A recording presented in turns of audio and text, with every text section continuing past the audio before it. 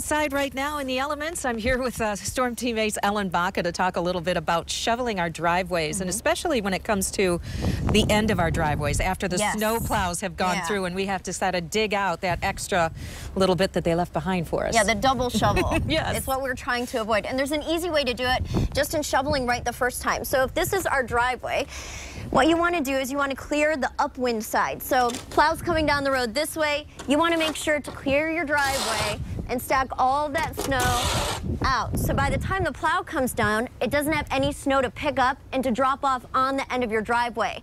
Now that's the first part. The second part is when you're shoveling, make sure to stack all of your snow in the lawn, not out in the road. Otherwise, you're going to make your neighbors mad because the plow will just pick up all that snow and dump it in their driveway. So two things to keep your driveway clear and not have to do the double shovel. Remember, if you're looking down on your left-hand side, you want to keep that patch clear and you want to stack all the snow on your lawn on your right-hand side. Now, if you do those two things, you shouldn't have that big bump at the end of your driveway. Oh, that is just, it's so difficult too when you do have that because it's like you, you get your whole driveway clear and then they go by and you're like, oh And you're no, like, here we go again. Back out there. And that's how plows work, you know, they're just right. pushing snow off the roads, but it is the worst. We do appreciate all the work that they yeah. do. It's going to be a long winter. It's going to be a long And they winter. work long hours. We appreciate that Hopefully they do. Hopefully this will help. It will. Yeah. Ellen, thank you. Brian, back to you.